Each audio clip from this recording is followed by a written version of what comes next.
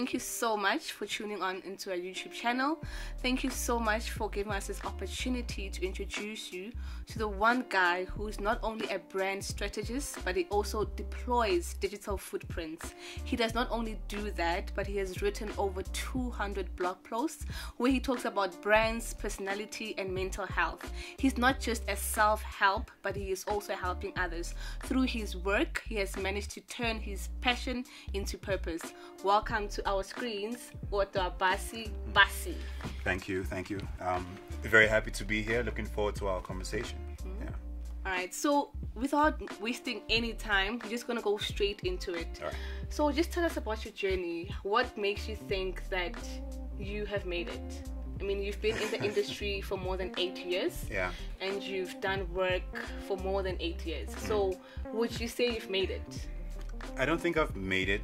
Um, as far as where I want to take it, I always tell people that it's still very, very early in my journey. But um, if there's one thing I am grateful for, is the fact that I have been able to do what I love um, and being able to experience so much in in that time working with so many kinds of people from corporates to startups to NGOs and um, the kind of opportunities and the reaction to my work is something I enjoy. So I think in that sphere, I am successful already, um, even though I'm planning to take this even more further than where it is now.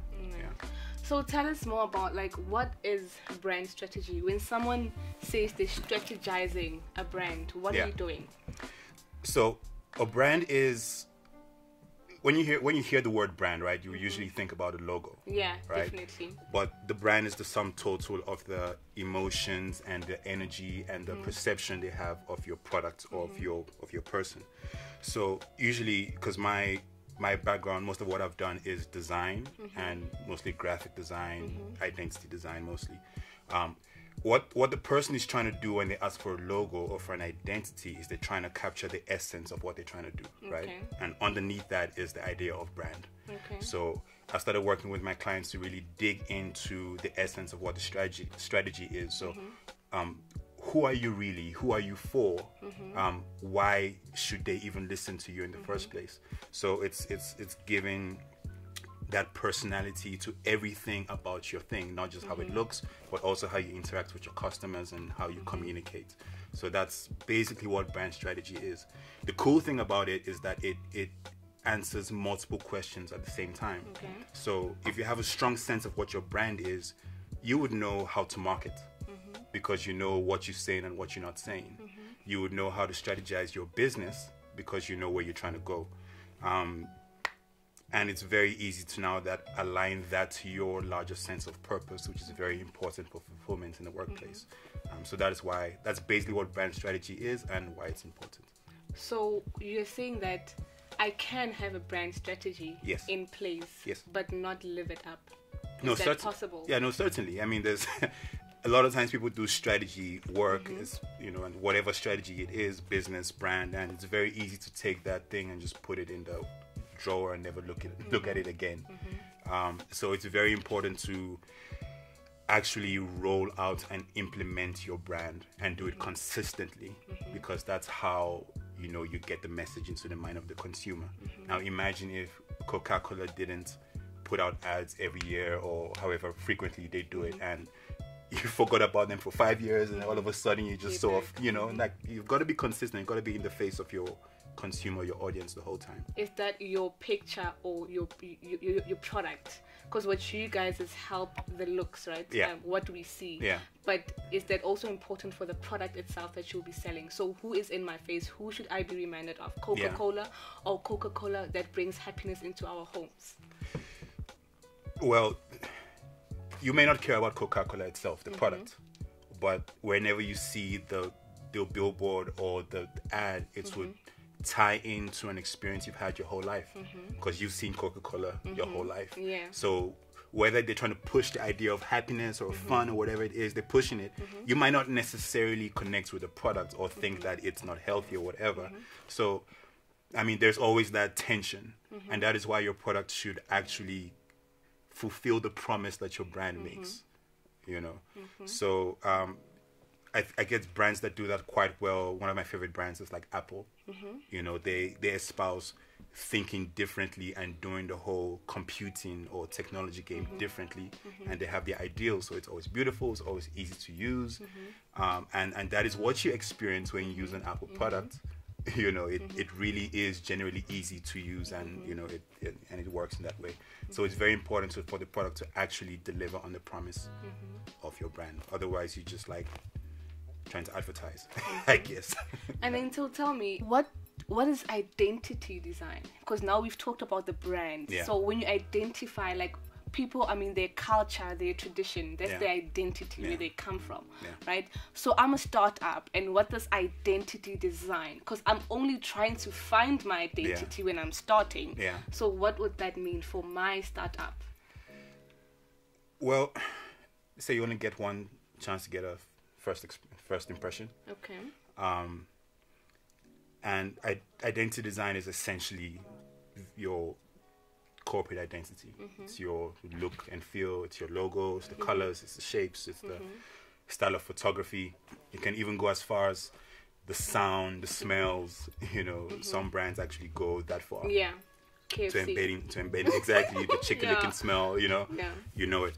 So uh, for a startup it's very important sometimes more than others Mm-hmm. well it depends on what you're bringing if you're bringing in something to the market where the it's important for you to look good like Mm-hmm. you're bringing a luxury item into the market for instance you have to look Mm-hmm. luxury um, and in today's day and age where the standard for design is already quite high because Mm-hmm. a lot of the products that we use are done to a relatively high standard of design whether it's google or it's facebook or it's twitter or um, whatever thing you use in your day-to-day life so if you're going to be a startup and you're going to enter the market then put your best foot forward like come through with something beautiful and striking and let that grab their attention and then you can start to tell them your story Okay. yeah So how would I deploy that? Um, I'm a startup. I have my branded identity. Yeah. I have my brand strategy. Everything is in place. But Yeah. how would I deploy that? Because I've recently found out that in order for a brand to grow on Facebook, you actually need to pay ads. Yeah. You know? So people think, no, people will follow me. You know, people understand my brand.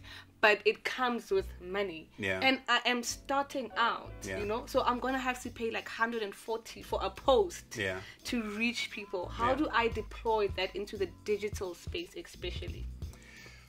Well, I would say you have to be very, especially if you're starting up, you have to be very smart about the way you're doing it, and you have to make sure that every action you take counts. Mm-hmm. So, definitely, if you want to do well on, you know, Facebook and Insta, mm-hmm. you know, do invest in paid ads. But mm-hmm. supposing you really can't invest in paid ads, word of mouth is very very powerful. Referrals are still very powerful. One-on-one emailing is still very powerful.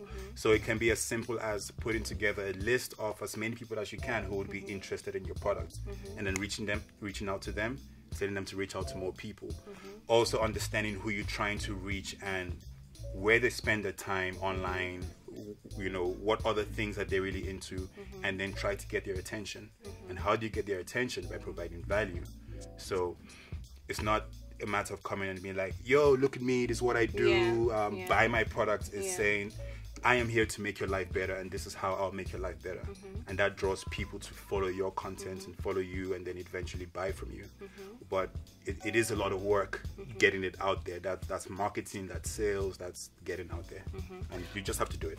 So if if you say it's a lot of work, Yeah. right? It's a lot of work plus it's a lot of money, Yeah. right? Yeah. And what I want to understand is so how do I even know that who to reach? Because I I know with ads you have to be very specific, Yeah, right? Like, yeah.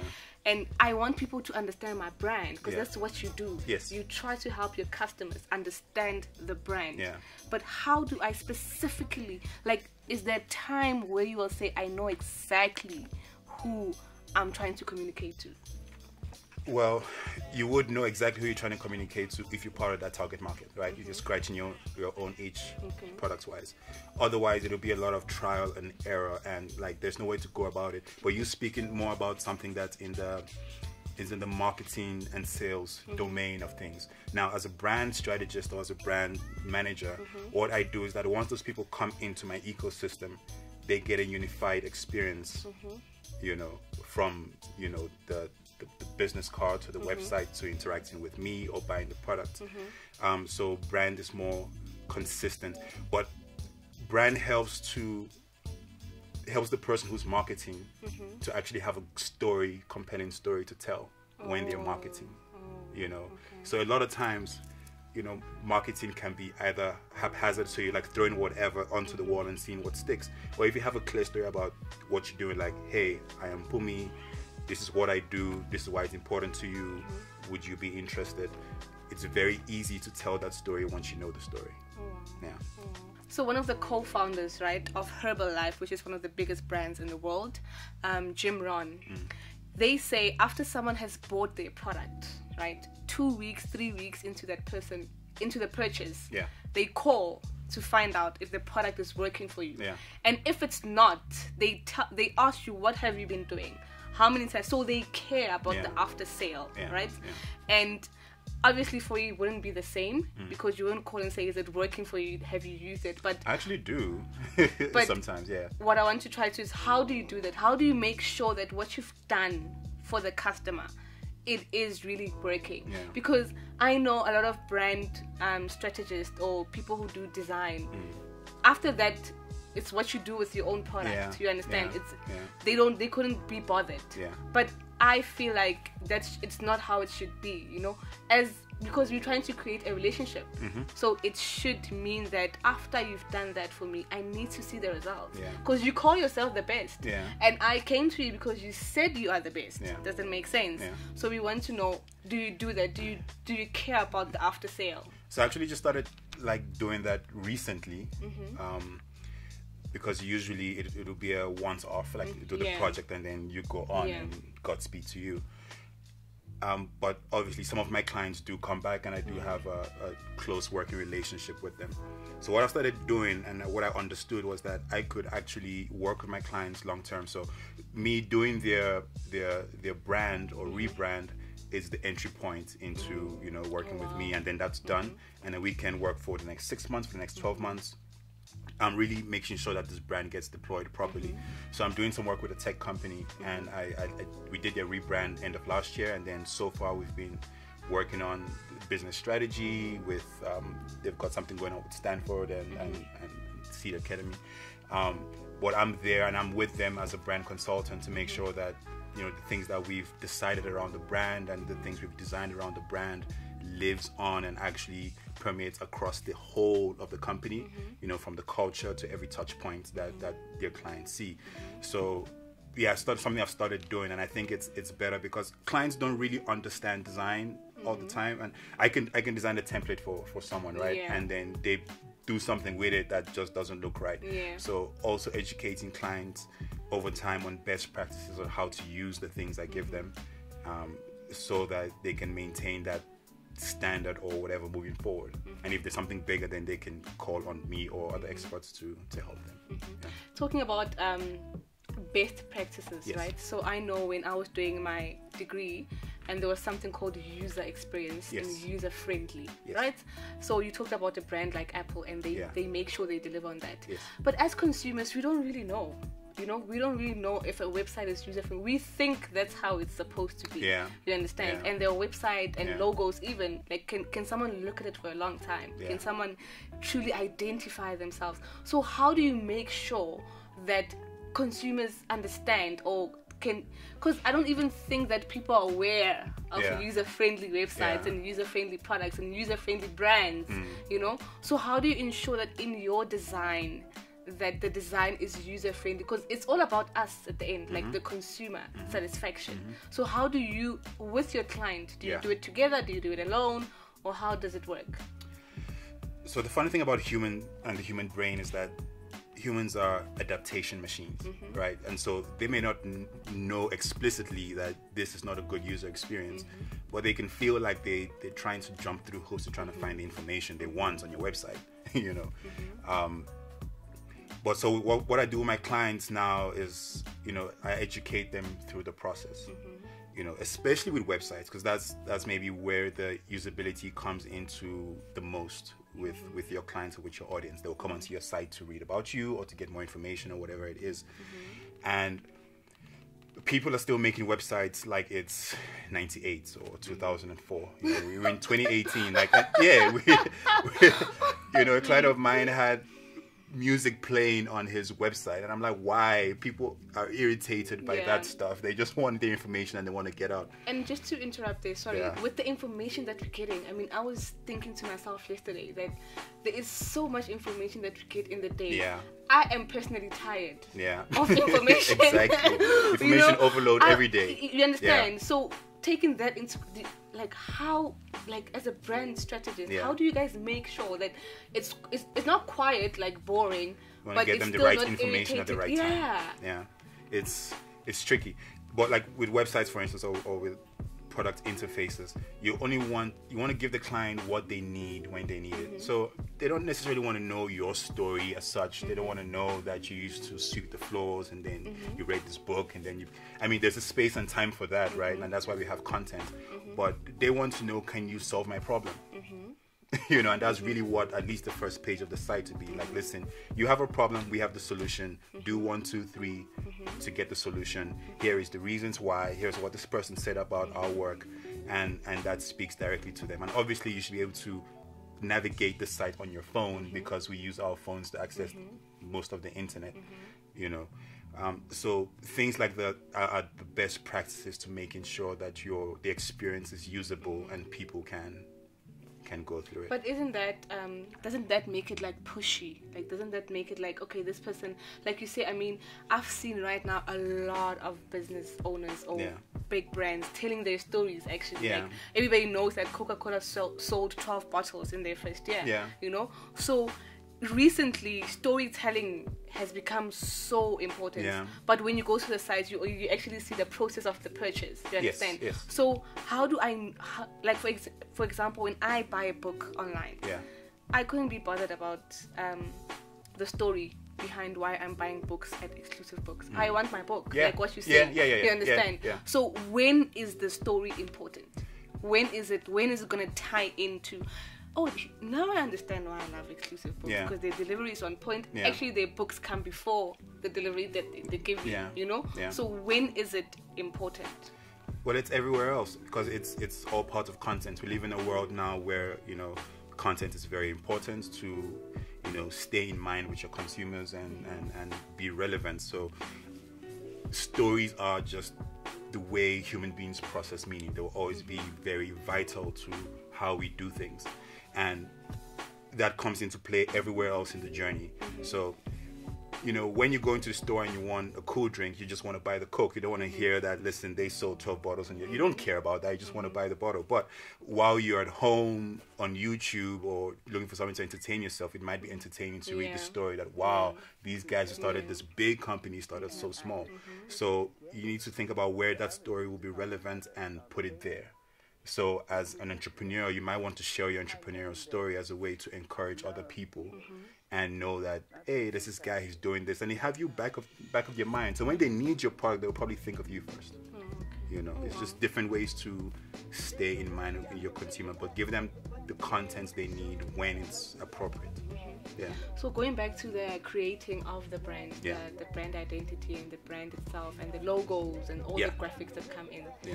Um, right now we have apps, Yes. right, that are coming in, your Canvas and your Wix and how n- that not threaten your industry as individuals? Because I know personally that I use Canva a lot, Mm. Yeah. you know, and in me using Canva, it means someone is not getting a deal or Yeah. is not getting a project. Yeah. You understand? Yeah. And how is, how is that affecting you Yeah. as brand designers and brand strategists and people who do logos and people who do brands and all that? How is that affecting you? Well, first of all, like a lot of things are being eaten up in the world. You know, Yeah. it's not just designers. Eating up. yeah, eaten up, you know. Um, even places like law and medicine are, are getting fast, you know, eaten up by AI and all these new technologies. So that's just a trend. Um, I think it's a good thing for design that these tools are more ubiquitous and available because, um, first of all, it increases design literacy, meaning that people yeah. know what looks good mm-hmm. and taste levels, mm-hmm. you know, generally increase, which make it easy or easier for the really good designers to shine you know because people can Yeah, identify and be like hey i know it looks good and that is really really Yeah. awesome so let me let me let me work with that person. At the end of the day there will still be certain things where you need a professional or someone Yeah. Mm-hmm. who's steeped in the crafts to do it. So there's stuff you can do on canva. You can quickly put together a logo but you will not be able to do it to the level that i would be able to do it Mm-hmm. because i do this like eight hours every day you know? Um, and at the same time the power of design is really so vast and i think we've just been scratching the surface of it um, a lot of people think about design as just the artifact, meaning the object. Yeah. So it's the logo, it's the business card, it's the mm-hmm. book, it's the car. But design is also about the process. It's also about the intent. It's also about the systems. And I think designers have the opportunity to go higher up in the value chain to give value at that level. Mm-hmm. So in, in the C-suite of companies and the strategy level, we can start to solve real problems mm-hmm. and not just what shade of color should this thing be.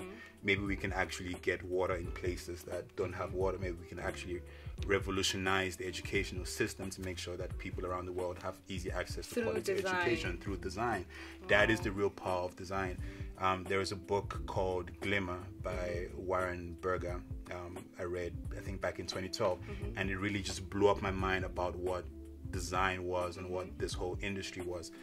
And to see what people around the world have done with design, people designing wheelchairs that could climb stairs, people that designed a laptop that could you know, be made for under a hundred dollars you know and that is really the power of design. That's where it that's where it should be. So i think it's great that all these things are happening so we can move up and focus on more important things. Mm-hmm. Yeah Oh, sure.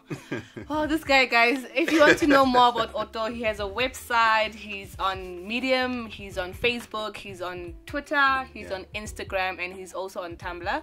But moving forward, um, now we're gonna get into his personal side. So, what I've realized is that don't you don't only do brands, right? Yeah. But you also have a personal blog yes and for a brand owner a, a, a, director of a company to have a personal blog i think people think blogs are just for individuals who have something to say but they are maybe employees or but if you are a director and you still find time to produce articles that are so liberating i know i'm a reader of your pro- Yeah. of, of your content Yeah. um one of your recent blogs talked about talks about the flinch you know and you mentioned that you take cold showers Yeah. cold showers guys so every morning you go into the shower and you take And a cold. cold shower Yeah. take us to the mental impact of that what does that do to you mentally because obviously you and i know that the water's cold Yeah. you know it's Yeah. i mean it's cold It's not i'm nice. gonna go out there exactly so what does that do for you mentally Yeah. Okay, so I I had a cold shower this morning too, and I remember thinking in there like, this is still crap. Like I've been doing this for like two weeks, three weeks, and it still feels like crap. Um, but I had to do it. So at the moment, I have no choice because. I mean, like, like you know, something happened with the with the plumbing with the geyser, Okay. and then you know that Oh, wasn't that's working. when you started. That's when I started, you know, Okay.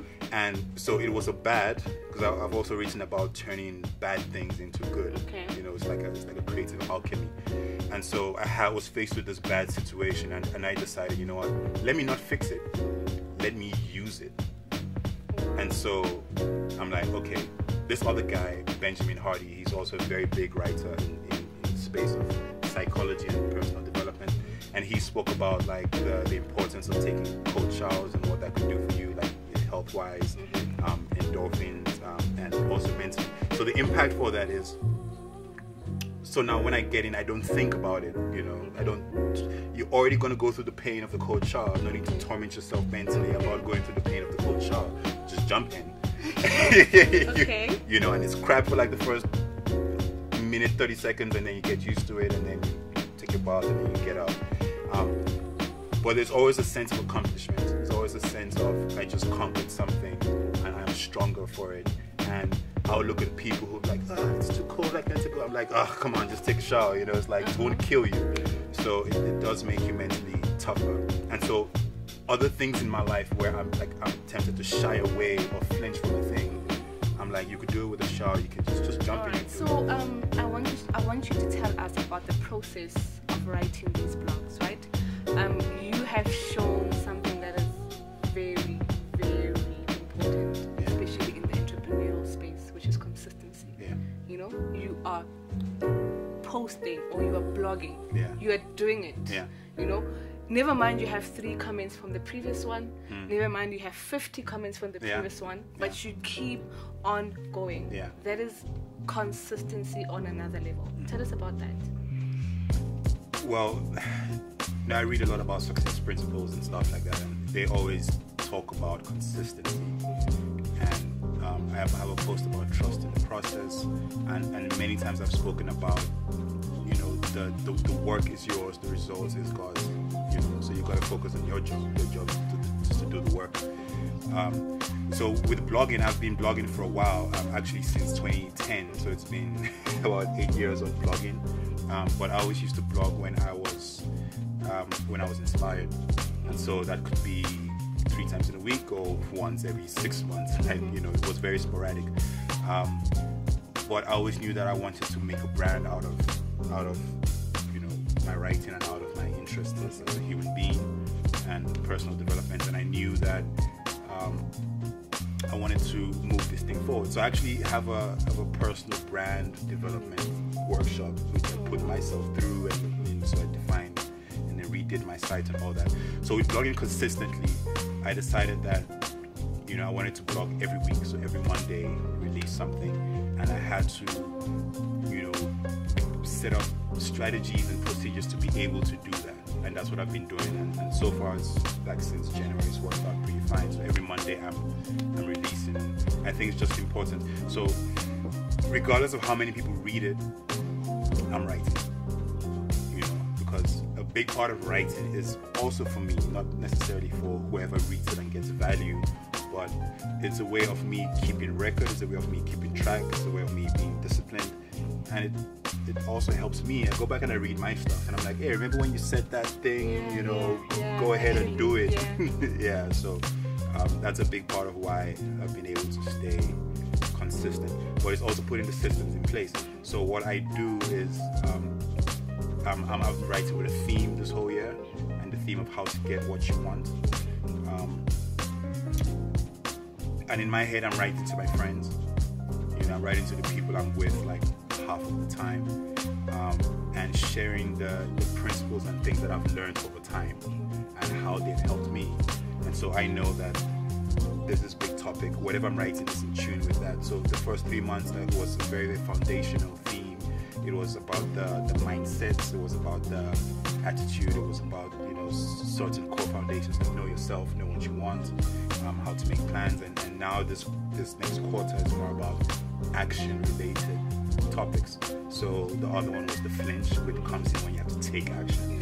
Um, the last one was about measurement and tracking and making sure that you stay on track with your goals. So that helps me, and I know that I, I, I map out content topics like three, four weeks in a row.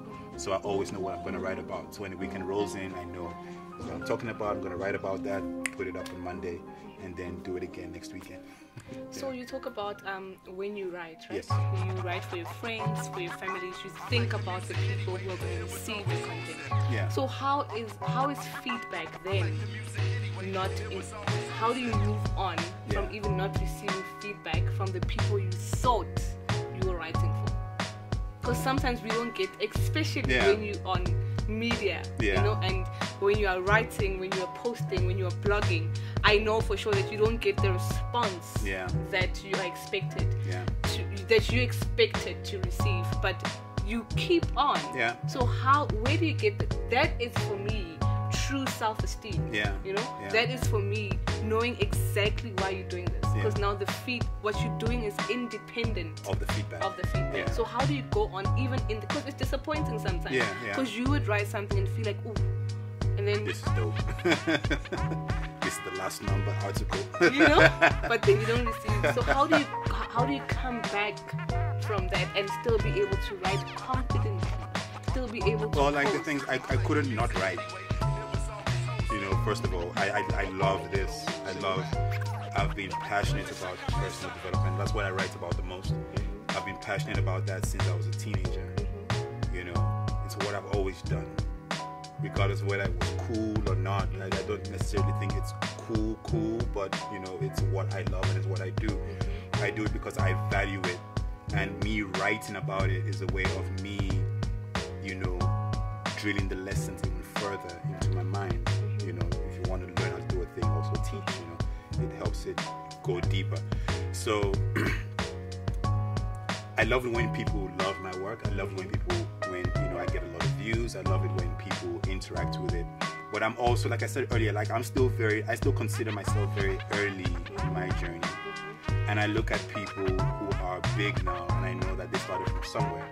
I know that someone, someone like Gary Vee had years of doing the wine library show, you know, you know, doing the wine library show and only a few people like seeing that and to now where he's got millions of subscribers, but he wouldn't be there necessarily if he hadn't had that long tail of doing the work beforehand. So um, I actually take the obscurity or the lack as as a blessing because once the light shines on you, sometimes it's not easy to stay true to your message because now you're trying to like you know pander to the numbers. But now I still have the freedom to experiment. I have the freedom to deepen the craft. So a big thing I've been doing is try to make my writing a bit better. Um, and try to make it a bit more engaging. So the people who do read do tell me what they like and what they didn't like. And if I liked it, I liked it. I don't care what anyone said about it. I liked it. Um, but that is why I'm able to keep on doing it. And I, I only think I would blow up, you know, maybe like three years from now. Like that's the timeline I'm working with. You know, like I will only really come out to the world in the way I want to probably three years from now. So all of this is is groundwork. It's leading, that. leading me there, yeah. Okay. So my job is just to be consistent and get better because you never know when the break is going to come. And it might only, like, three years from now, someone can go and read something I wrote in 2015 and that be the thing that booms.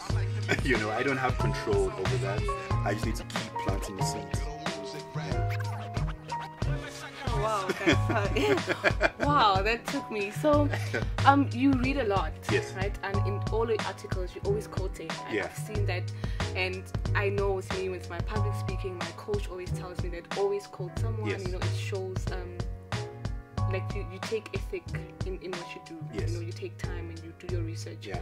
Um, and one of your quote is your favorite all time. Yeah. In, in your blog, Yeah. you said all time favorite Yes. is by Robert Greene and Yeah. Nothing is Frightening. Yeah. And I've read this and I read it again. Like, Yeah. Nothing It's is frightening. frightening. Like nothing is frightening. Yeah. Please explain that. How can nothing Be frightening. be frightening and how is how does that help you in your lifetime?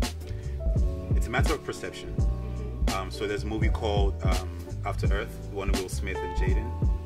You've never seen it. So basically, it's like a post-apocalyptic world. Um, people kind of don't live on Earth anymore. They live in colonies elsewhere. And then, so he's with his son, and they crash on a planet that's very, very hostile.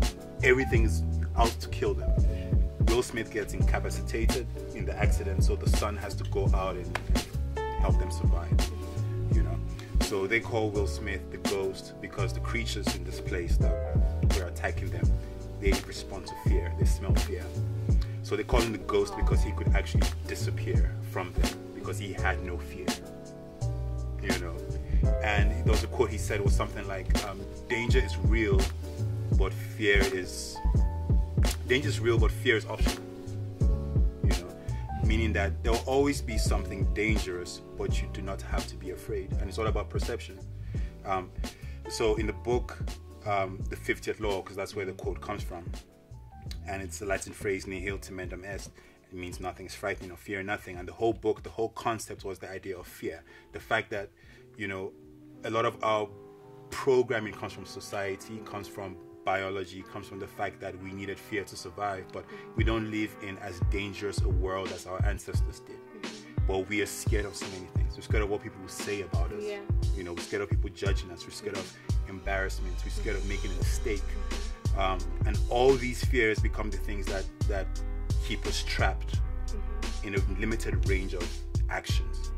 But if you can begin to train yourself to lose that fear or move past that fear, you know, your comfort zone expands and you can do a lot more. You know, you're able to push through into a situation where people will shrink away from and succeed because you're going in without fear and you're doing everything you need to do to survive and to and to succeed.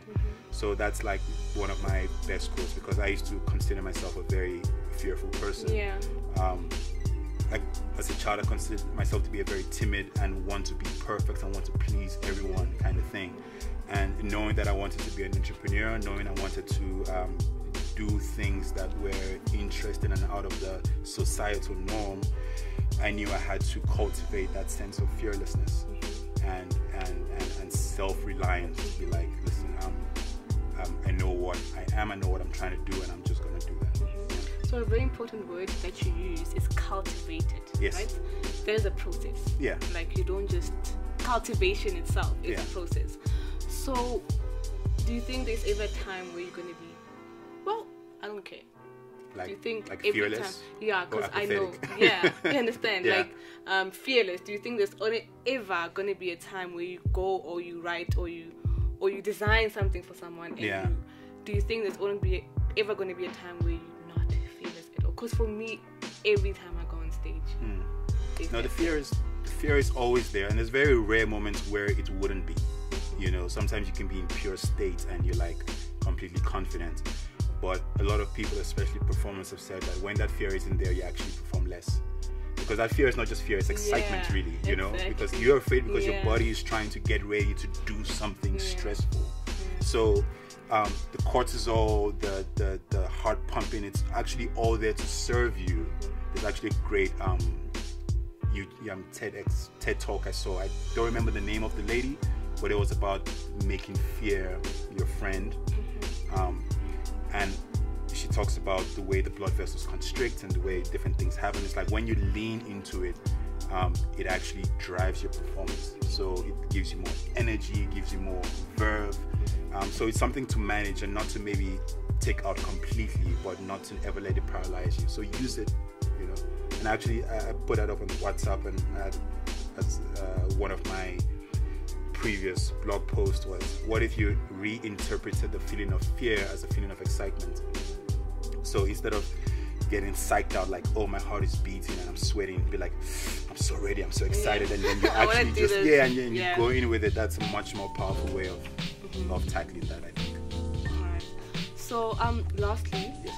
right, um coming back to branding, Yeah. right, and technology and I th- there is there is doing the design, right? yeah But one thing I've learned about the best designers, which Yes. is you guys, Yeah, and yeah. you, yeah all your products are Apple, yeah and Apple is not fifteen thousand rand, no it's not. Right? Yeah. so I'm that's a buying your laptop last year. You understand? Yeah, your phone yeah, everything. So yeah. as a startup how is how is my technology important to my brand? Well i've been designing for a long time. Mm-hmm. And when i was designing in my dorm room many years ago it was with a random windows machine maybe mm-hmm. 3 gig ram and it was the best i could get my hands on at the time and it's not about the car it's about the driver. You know it's not about the tools it's about the artist. So a really good and competent artist will make something out of anything. I was watching um, Basquiat's um, documentary a while ago. So Basquiat, uh, you know Basquiat, is a No, famous um, African American um, artist from like the 80s, early 90s, I think. Um, he passed away at 27, but his work is extremely um, influential. I mean, sells for millions around the world. The Jay Z's and all reference, you know, Basquiat. His work is very, very provocative. I love it. Um, but he started off as a, as a as like a starving artist, you know, kid scrounging for change and food. But he loved to paint. He would take abandoned doors back home and paint on the doors. Like he couldn't buy canvases, and, you know, he would do whatever he can. So, um, always like use what you can with where you are. But as soon as you can upgrade your tools, do that, too, because the tools do help the quality of what you're going to bring out at the end of the day. Um, I'm an Apple Apple fanboy, so you know, we we work with Apple. Um, it's it's generally better. Some people hate Apple too, you know. So Yeah. it's your preference, is what you want to work with. So the tools are important, but the the skill is even more important. But invest in both. Oh, Yeah. Wow. Yeah. Invest in both. Yeah. So the skill is just as important as the tool, but Tool so is, the skill is more important. the skill is more Yeah, important. you Okay. know. So the skill is more important than the tool. Yeah. Invest in both. Invest in both. Alright, yeah. so what would you love to tell the viewers and anyone who enjoyed and who really found value in this interview? Um, well, read my blog. of course! Or check out my blog. I think it'll probably be in the show notes of this episode or something. Yeah. Yeah. Um, but otoabasi.com. Um, if I would say anything to you guys out There, my whichever one my my my big passion is in people reaching their potential. That's that's what i do with my writing and and everything. That's what i do with my design also is trying to help people be all they can be. So i would say like believe in yourself. I, I believe that god put something in every human being that is that is unique and that's like your cry. That's that's the passion. That's the thing that you can't help but do. That's why we're doing this. That's why you started this. And it's very important that you embrace that because if if everybody brought their gifts to the world the world would be such an amazing place. I think the tragedy of of of of most humans and most continents and most people it's not the loss of resources it's the loss of the human potential of the people. So like like if you love something do it do it to the best of your ability. Try to be the best in it and do it for the love and for the people who are going to receive it. And only good things will come to you from there be strong Sure. For everyone in the room and Yeah. everyone who will be watching this. Yeah, this like uh, for everybody who's in the room, you know, like throughout, it's it's so worth it. lot like we really appreciate it and we wish you nothing but the best. Thanks. We hope you even get clients from this. You know? I look forward to it, and even doing more of these. I've always wanted to do video, um, and so this was very, very cool experience for me to do this with you. So thanks for thinking of me and having me also. Right. So this guy, guys, he's long-term success. So if you're looking for long-term success, then Still early, guys. Still early. Going Otto far. Abasi, still for you. So thank you so much.